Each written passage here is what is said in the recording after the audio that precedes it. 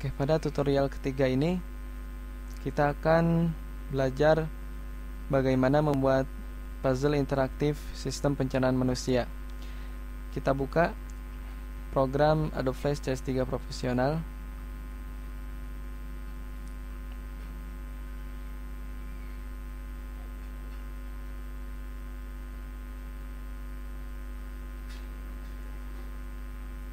Kita cari file latihan dari sistem pencernaan manusia yang sudah disimpan ke komputer.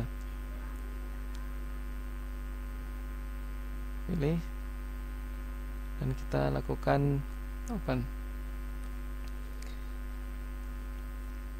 Nah, ini adalah file biologi sistem pencernaan manusia latihan dengan ukuran file 800 x 600 pixel dan background berwarna putih. Dan juga pada panel library terdapat objek-objek yang nanti akan kita gunakan di dalam membuat puzzle-puzzle.